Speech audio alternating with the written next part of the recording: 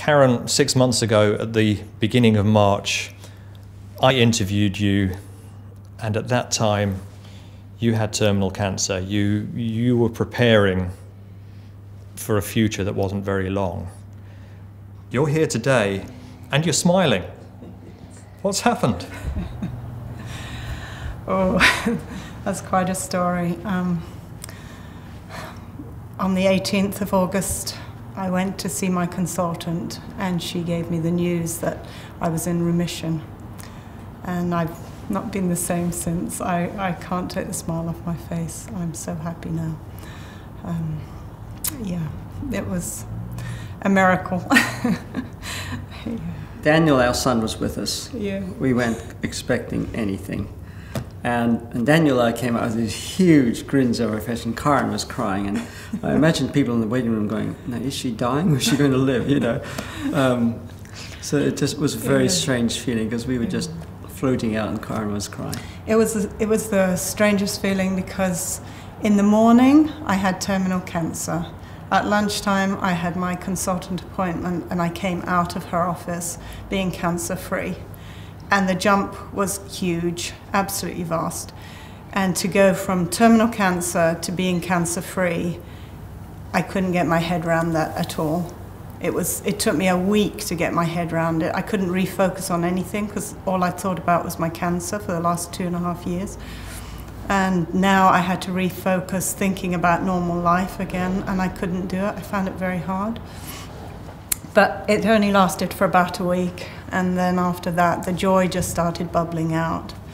Um, but it's quite quite hard to go from that kind of news, terminal cancer, to suddenly being cancer free. That's not an easy jump to make in one just one second, just like that. I almost felt felt guilty that I had got my life back when I know a lot of people I know who die of cancer and I think, why me, Lord? Why, why has my life been spared? And why has this person died? And I, I have no answer for that. And I can't say why. It's certainly nothing to do with me. Um, it's by grace and by grace alone. But I believe the promise in James 5 that the prayer of faith will heal the sick and God will raise them up.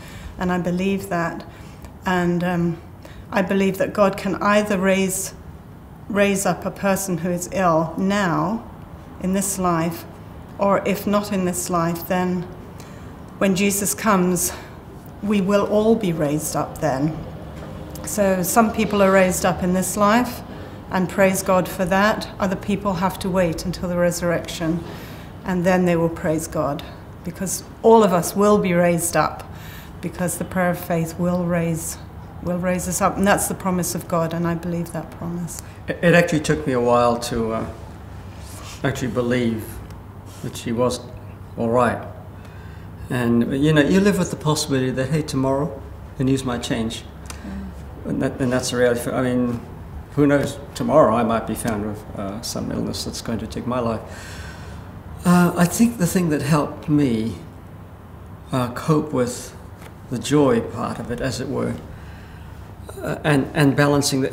In fact, the, within an hour of us walking out of the hospital, I had a phone call from a friend. And I was bursting to tell this friend, Karin has just been cancer free. Uh, and fortunately, I waited because the friend said I'd rung to tell me that uh, her, her brother had just died of cancer. And so, right there and then, I was, in that very moment, I was holding uh, sadness and joy at the same time. It was, and it was kind of difficult to juggle them. Um, and and you, you, you, go through thinking, am I supposed to be radiantly joyful all the time, or am I supposed to have a balance of sadness and, and joy? Another friend of ours uh, suggested to us that there's always a reason to be sad because the world is broken.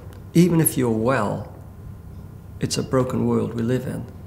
And so you, you you know, we have not yet got to the place Karin was talking about, where, where the Lord raises you up into joy that's everlasting. Uh, and I, I think that's part of the struggle. You live with these two, two realities of joy and sadness because of the world around you. There's sadness every day. And I think that helped me, this friend's statement to me that um, no matter how well you are, we live in a broken world. and we live with that sadness. Broken world, but a world where you're also now living with great hope. Yeah, that's right. That's right. And maybe hope, hope is there between the sadness and the joy. You're hoping for that day when joy is complete.